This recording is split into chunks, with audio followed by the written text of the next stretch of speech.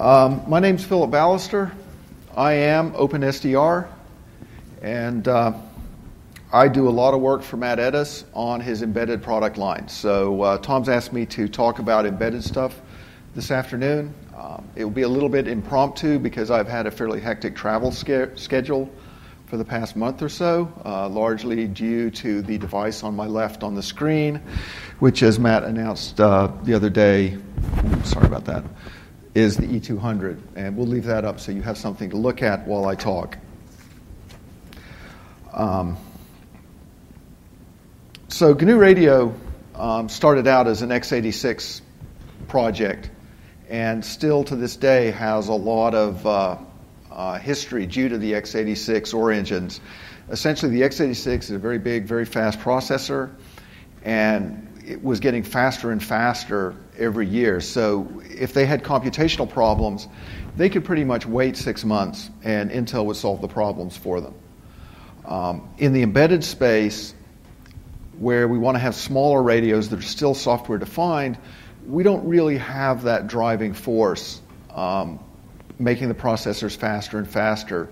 Um, tablets are helping, but the, the, the, leaps and bound gains are tempered by the embedded space also having fairly strict power requirements. So we don't get to throw large amounts of power at the problem um, while still trying to have fairly high performance systems to run GNU Radio on. So we kind of struggle with um, some of the history of GNU Radio making it difficult for us on embedded systems. So, some of the things that um, I know I've noticed in the past year or so, I believe this spring we noticed that one of the transmit modulators, the angle modulator, was using uh, calls into libc for sine and cosine, which are horrible to do, even on an x86. But nobody really noticed on x86 because they had extra cycles to spare in many cases. So nobody really noticed until somebody, I think, believe posted on the GNU radio list that you know they were running this and the CPU usage was horrible and what's going on. And I looked at it and I realized it's sine cosine. And all we had to do to fix that was to replace it with a call to the GNU radio call that did a table lookup to calculate the same thing much, much faster. So when you're looking at GNU Radio on embedded systems, we're looking at this as a work in progress where we really all need to work together to improve GNU Radio, um, looking for the low hanging fruit like that. Uh, the other thing that's been a really big help in the past you know, six months or so is the increased use of Volk. Um, once again, Volk is primarily right now set up to do x86 work, but there's the framework is now here for doing Neon um, which we'll talk about in a second. So Volk basically provides us a way to get um, SIMD accelerations into GNU Radio, and then they will flow everywhere into GNU Radio that uses those kernels. And I know we've had some extensive talks on Volk, so you can sort of see how that all goes together. Um, one of the sets of kernels that has been done for Volk, uh, largely by Nick Foster of Ettus, is he put in some for uh, something called ORC, which I believe is optimizing runtime compiler. So what it does is it uses a pseudo language to describe the operation, and then you compile it with the ORC compiler, uh, link it together into ORC, and what ORC will do is choose a SIMD, a suitable SIMD implementation, both for the x86 versions and for um, the ARM versions. So you basically get about 60 to 80 percent SIMD improvement um, across all platforms. So it's kind of a, a good entry into getting uh, improved performance. And so now that Volk is going to be driven more into GNU Radio, we can start to focus work on Volk and get a lot of improvement there. Um, and once we get the uh, orc stuff in place, then we can worry about um, getting the last 20 to 30 percent out of that by doing specific neon um, hand assembled stuff. And there you can worry much, much closer about register scheduling and stuff like that. Um, for those that don't know, uh, Neon is basically the ARM version of uh, SSE, for example. So uh, Neon uses, you know, basically 120, uh, basically you get four floats per register, so you can do four floating point operations in parallel. It's sort of the rough, you know, how parallel it is. Single SIMD is single instruction, multiple data, just for people who don't have that background. How many people have some familiarity with Neon and ARM stuff?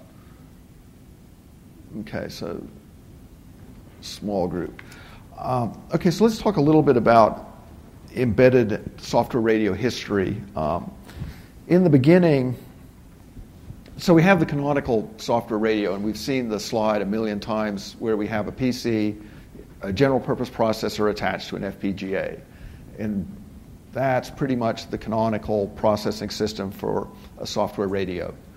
Um, and the, the history here is you, I, the, people have been doing software radio for a very, very long time, but for the, in the embedded space, the things you've had to play with in the past, um, Intel, um, Xilinx has these nice FPGAs, and they put a PowerPC in it.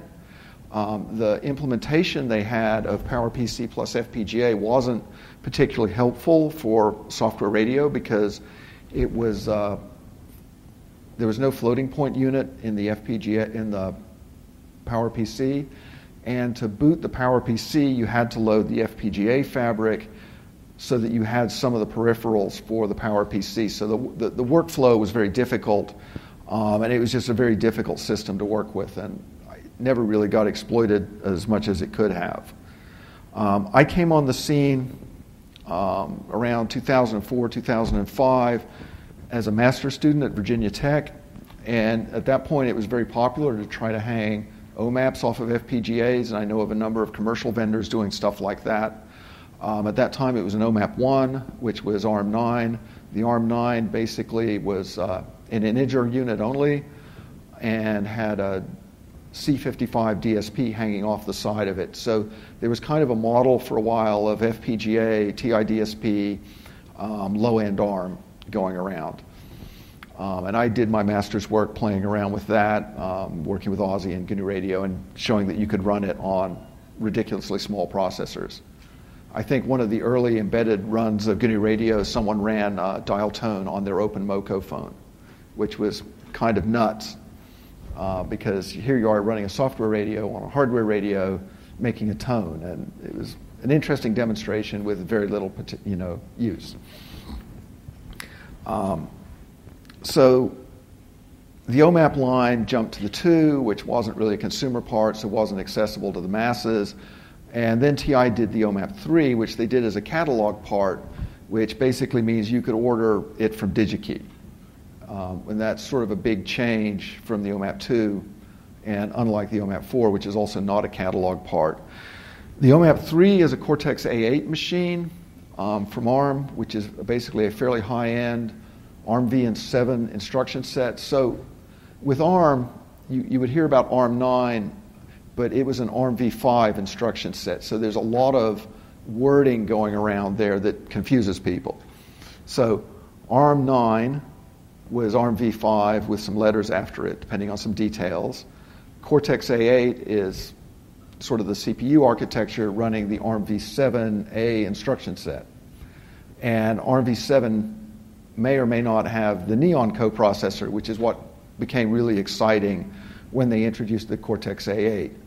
So with the Cortex A8, you've got access to the Neon unit, and there's also a vector floating point unit that is not a vector floating point unit. Um, and I believe Tom will have some comparison between that and the A9, which is where we're at now. So with the OMAP 3 is designed as a, a system on a chip, a SoC, for doing cell phones.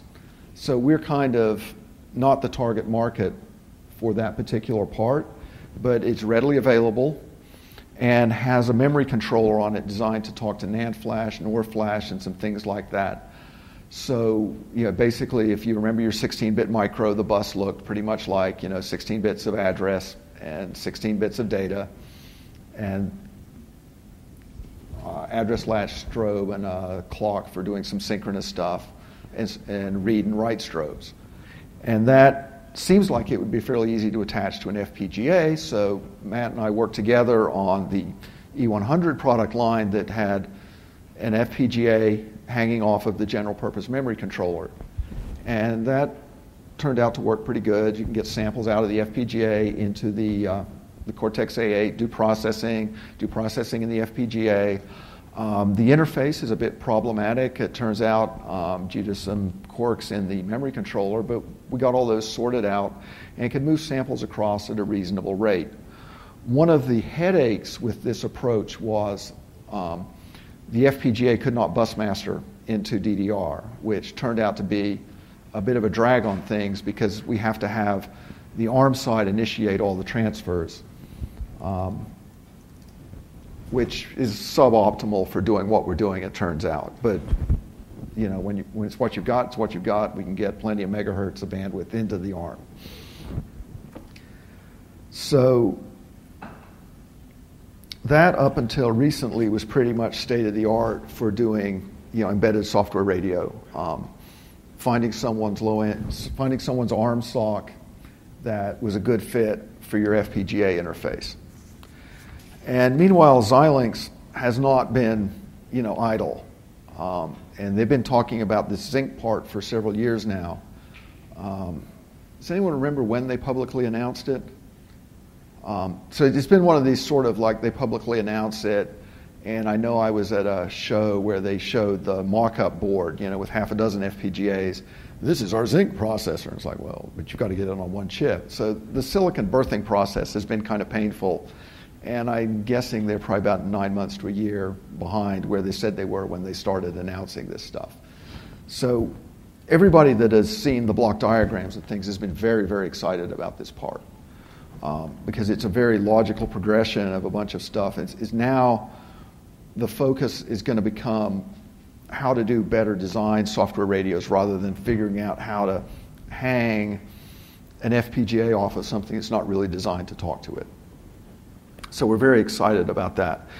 The next big thing in the Zynq is it has the next big thing from ARM, um, which is the Cortex A9 which is basically incremental improvements over the A8. Basically, I feel like they fixed a lot of problems in the A8 and made it faster. Um, it's also a dual core A9 in the Zynq part, so instead of having one processor, we now have two. So you're now basically you're, you're now running symmetric multiprocessing. Um, some other key features of the Zynq is um, let me switch my. Uh, if, does anyone have any questions? Because this is going to work a lot better if you guys ask questions. Just, oh, come on. Uh, does, before I start talking about the Zynq, seriously, does anyone have any questions about you know things that have happened in the past? When is, when is the E200 coming out? When is which coming out? The E200. Uh, that's a Matt question, and I believe he said when he announced it yesterday that there would be engineering samples first quarter. Okay, yeah, that's right, that's right. Yeah. Yeah, and he's not paying attention. Okay. Engineering samples of the E200 first quarter next year? Hmm? What did he say? Beta units. I said engineering samples because it sounds better. Um, there I go ad libbing and getting off script. So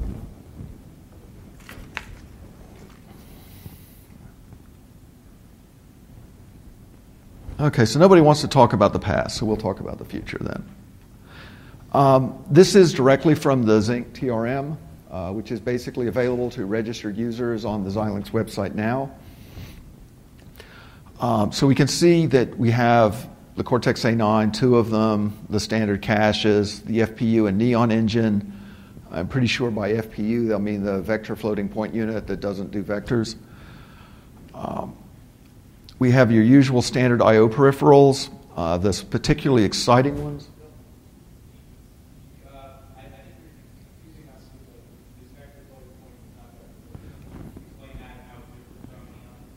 Um, okay. Tom, Tom's going to cover that one better. Um, but basically, they're two floating point units of varying degrees of performance levels. Um, and every time, it's just, Tom will talk about that. So, but that, that's why you see sort of references to two floating point units there. Um, and Tom will talk in some detail about what they're good at and blah, blah, blah. Uh, standard I.O. stuff. Um, the exciting stuff is the gig E stuff. So now uh, the E100 is basically 10 megabit, and you probably can't really get 10 megabit because it's on the same bus as the FPGA, so you basically are going to starve the FPGA. It's basically shared access. Uh, you notice these lines here are showing you the direction of the arrow basically means the gig E unit can bus master. So you can, it, it, should have a little DMA controller in it, and it can bus master. And if you follow the directions of the arrows, you see that you go through the central interconnect out to the memory interfaces. This is the DDR controller. So you have reasonably fast DDR memory with a controller on it that, you know, so you have a high bandwidth path to DDR from the gig Ethernet. So if your driver is set up properly, um, the GIG can read and write DDR without needing the ARM to do the copy to from. So these are big potential performance improvements, uh, depending on how Xilinx has written the Linux driver right now. Uh, two GIG ports, two USB, two SD. Uh, if you've noticed, the E200 probably will have one of each. You have a DMA controller accessible to the ARM, on chip RAM, and the exciting stuff is the programmable logic down here. Just to be clear, these are not data flow directions, they're master directions. So basically, the arrow points to the slave. So basically, what that means is the master can initiate bus transactions downstream by following the arrows. So to make that, see if I can find a good example. Um, so everyone can talk to the RAM, the on chip RAM. Everyone can talk to the memory. The central interconnect is basically a crossbar, so it'll slow things down going through it. And the key things here are the general purpose ports and the high performance ports in the programmable logic. So, what this means is there's six ports in the programmable logic where your logic can basically speak directly to the memory. So the way this is going to work is the FPGA, instead of the ARM deciding when to read and write from the FPGA, the FPGA will decide where, where, when and where to put data and then coordinate via some control ports here. So what will happen is we can offload a lot of the overhead of doing data transfers directly into the ARM. And this should be a big win for having more computational time available in the ARM and just lower overhead transfers. Um, the bandwidth numbers into DDR are pretty big, so conceivably you can move high rate data and have the ARM all accessing DDR and not running out of memory bandwidth. So there's a lot of a lot more speed in here than the old A8 design. Um, the OMAP design had a relatively slow memory bandwidth. This has much, much faster memory bandwidth. Essentially, if you played with an A8 based E100, most of the problems you would have seen in that have been fixed by this architecture.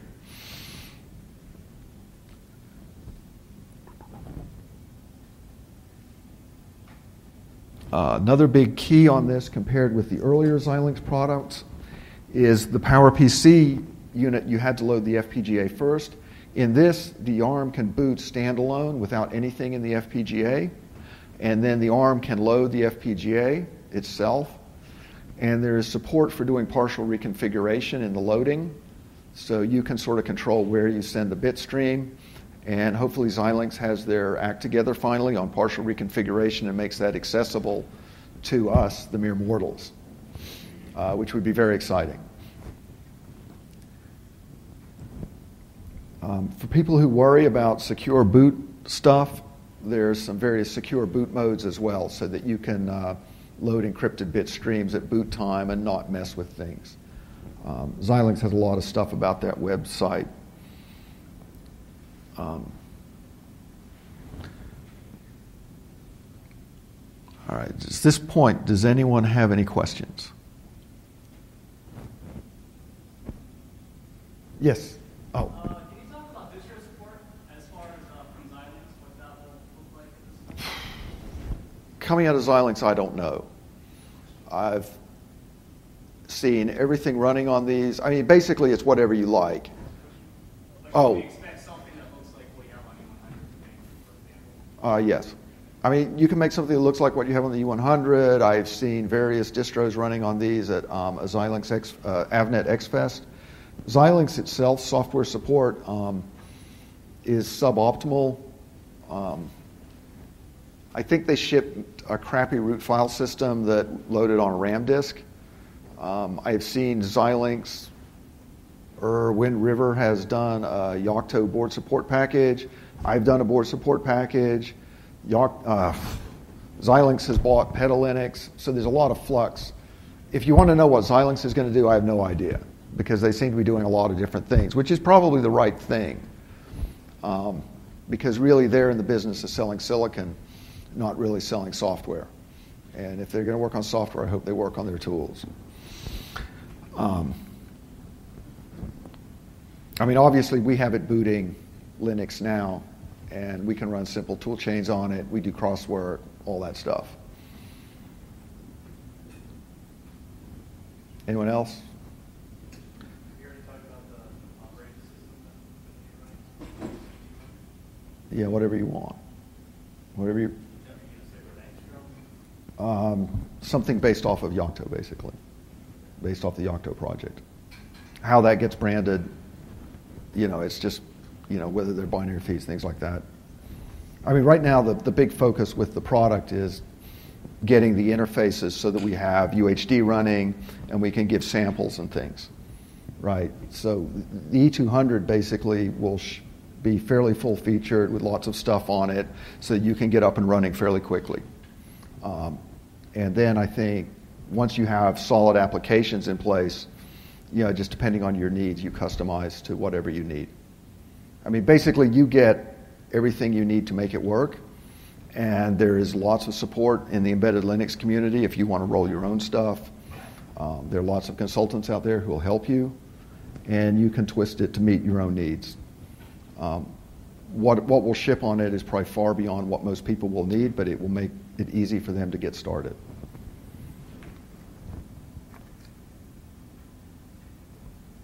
Okay. So, since we're at a GNU Radio conference um, talking about embedded stuff, the real thing here is we, we need to talk about how to make GNU Radio run better on this. Um, and this is where I'm going to need, you know, audience assistance. Thank you. Um, I mean, I know of things that need to be done in GNU Radio to make this better, and I talked about a lot of those in some of the work that we've seen here, the Volk stuff. You know, we have a path to integrate Neon and stuff like that um, via Volk. So, you know, that's a good place if you want to help out get GNU Radio work, working better on embedded systems.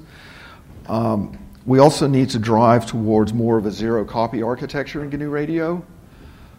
Um, in the E100, the data flow is such that the data comes out of the FPGA into DDR, into RAM, and then UHD does a block where it converts the data to float. So it basically does a copy while converting to float and then moves it into the GNU Radio buffer system so the GNU Radio can then pass it around.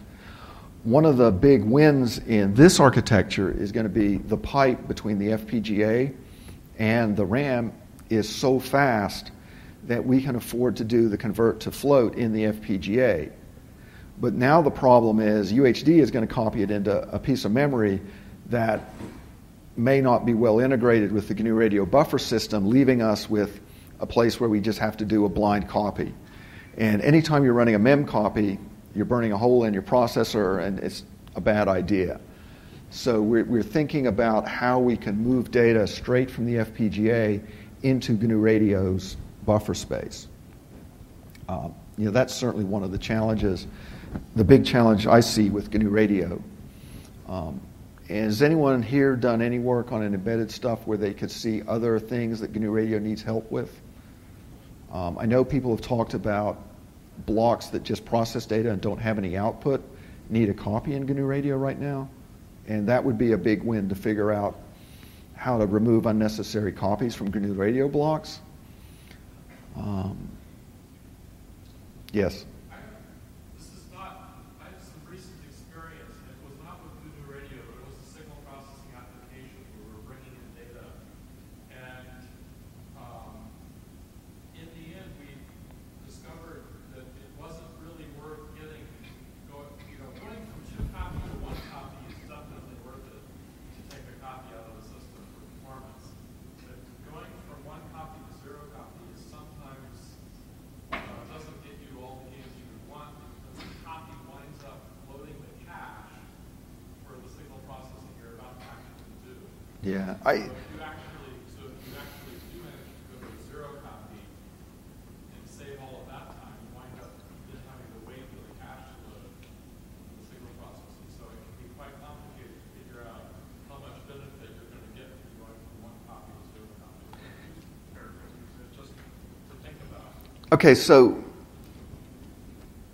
there's issues with you know how the cache works. Um, so when you reduce the number of copies, you may not save time because the big time may, might be going through cache. Um, in this, The big time might be just getting the cache loaded in the first place. Doing that one, doing that doing that one copy primes the cache for your subsequent operation. Um, So you don't actually save much, you don't save as much as you might, as you might have thought you might by getting rid of that last copy. Yeah. So, but the idea here is I think we would have better um, localization of the operation if we didn't have to bring it through the cache once, because chances are, as we stream in samples, they're going to get processed later. So what will happen is they'll go through the cache, then get flushed out by the processing blocks, and then get sucked back in when they get processed. Um, it's, it's basically sort of some architectural things that we need to think about that I think would be a win in this case, even given what you're saying. Um, just because of how the queues are going to, the buffers are going to fill, is, is kind of my gut feeling. Measuring cache stuff is, is just a pain. So we'd like to, if we can do design stuff to make it so that we don't have to do those copies, I think we're better off. So we, we need to think that way um, as much as we can. Certainly, in the case of the blocks that don't have any output, so avoiding the input to output copy, basically the output becomes the input, but they're going to get primed into cache anyway because the operation is probably going to be to scroll through and make some decision based on the contents of the buffer. So by not having to write it back out, you might have a bit of a win.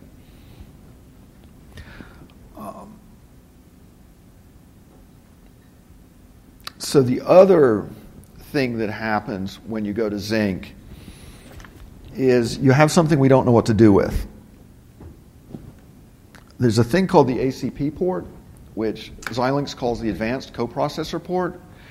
And this is designed to be a way to do medium length accelerators.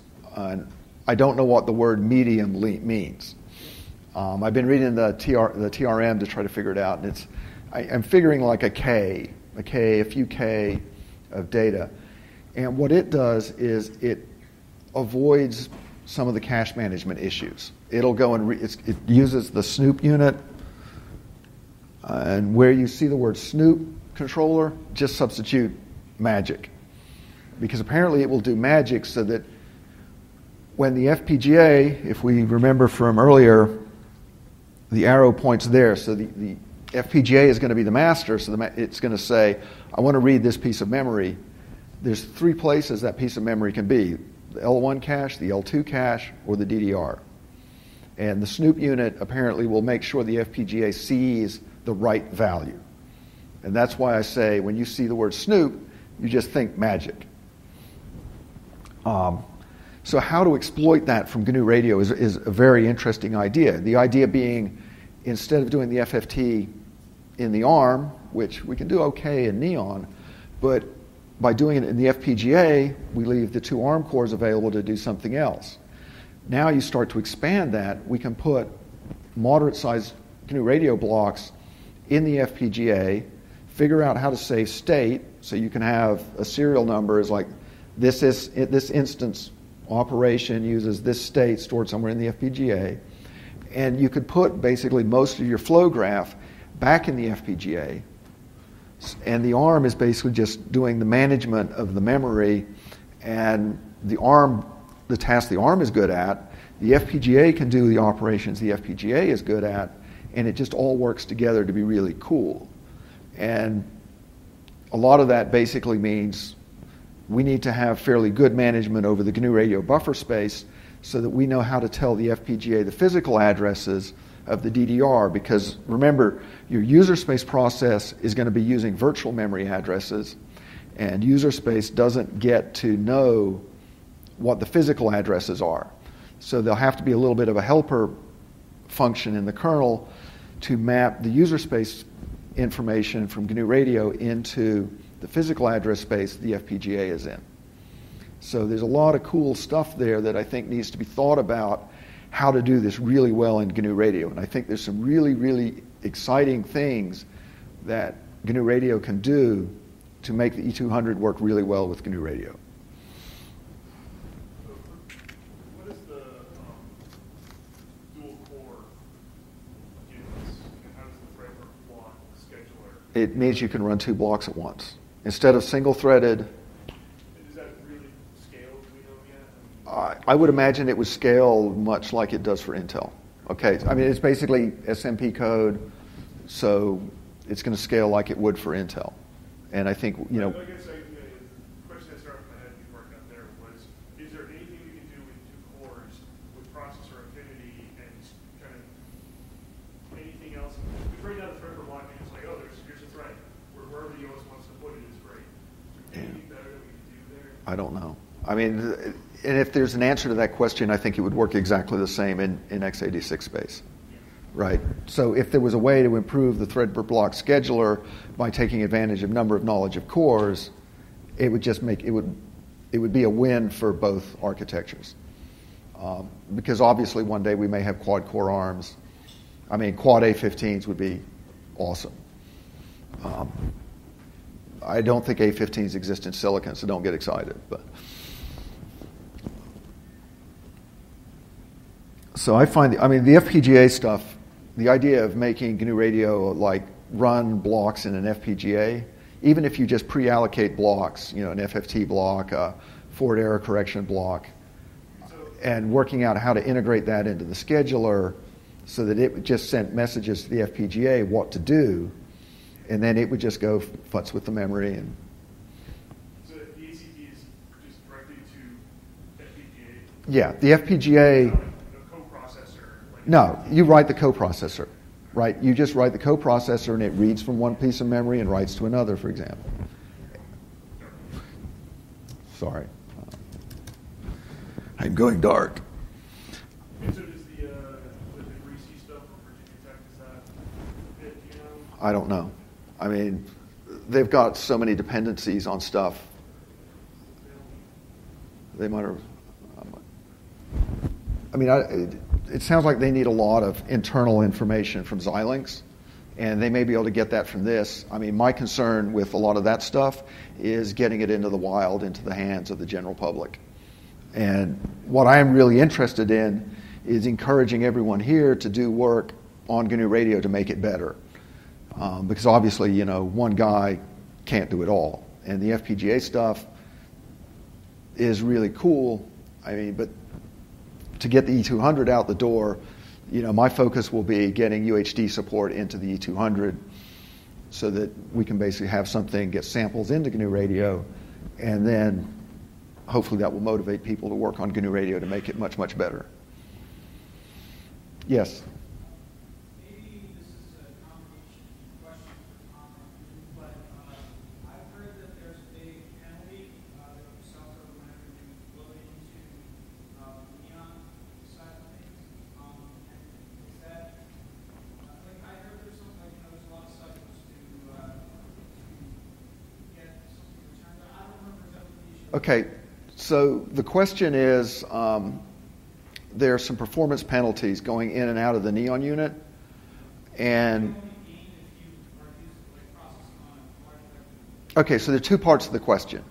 Um, the Cortex A8 unit had like a 20 cycle stall when you stored from Neon back into ARM registers or back out to, to RAM. So there, there's two pieces to the puzzle. If you're doing small, you know, given that you have the stall, you want to chain a lot of Neon operations. So you want to stay in the Neon registers as long as you can before you go back to memory. GNU Radio has some fairly fine grained blocks, like an add block. So you could do a SIMD add, you know, add four numbers in parallel and then store. Um, obviously, if you were going to add four numbers and then do another mathematical operation, you'd want to skip the store. So, because of the fine grained nature of GNU Radio, it could really be hurt by such a thing unless you had the knowledge to write bigger function blocks. And this is sort of a, an ongoing topic of discussion. You know, as maybe you, bigger blocks are faster because you can optimize the internals better than then going back to RAM and for, back and forth to RAM. So there's a strong argument for having big blocks on embedded systems. Um, the other piece of the puzzle is what I said earlier was the differences between A8 and A9 are mostly internal, and the understanding is the A9 doesn't have the store penalty anymore. So the pipelining has been straightened out. Basically, the pipes got straighter, so they don't have the penalty that you saw in the A8. So that changes the equation as well. But I would say that you probably want to chain up a fair number of operations in the Neon unit because you don't want to read from RAM, do the Neon operation, and then store to RAM. You probably want to do, you know, half a dozen if you possibly can. Just common sense kind of stuff. Um, and this, I, I, think there's probably been paper, people who've wrote stuff on software-defined radio where you're doing block-structured stuff. You know, do you have like every little operation configurable, and then you can draw these infinitely complex flow graphs, or do you have a few blocks that are fairly dense? Um, course, my line radio supports both. Yes. So You always have, like your side project, the gigantic blocks. Yeah. Not relying on I, the way I would do that in GNU Radio is use hierarchical blocks with the fine-grained stuff inside of them, and then when you see them become performance problems, rewrite them as um, monolithic blocks.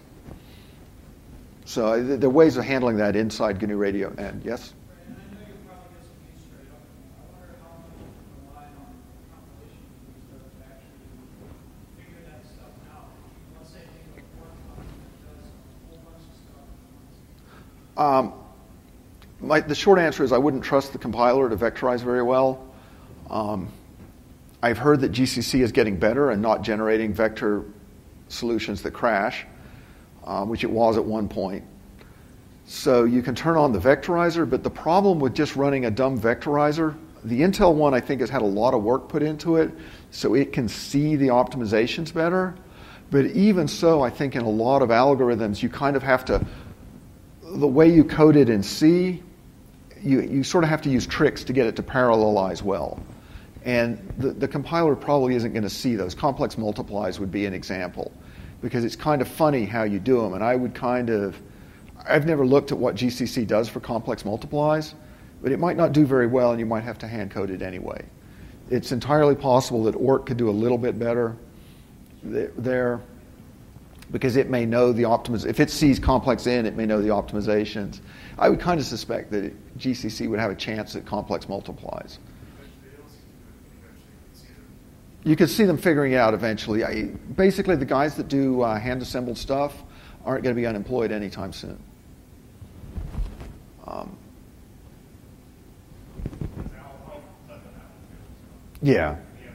Yeah. Okay, does anyone else have any sort of general questions, or should we go ahead and get Tom up here? To, yeah. How do you compare uh, this uh, big sense column with the uh, Altera Second Pi? Um, is that one shipping? Yeah, I, I've heard rumors that Altera has a part, but I don't know if it's shipping yet. Um, I'm just not that familiar with the Altera line. It, it seems like Xilinx has been kicking their butt lately in this stuff. I think they had some automotive part, but I'm not really super aware of you know, what its specs are. And I've heard they've got like a cool one, but it's not shipping. So that, that's kind of my knowledge there.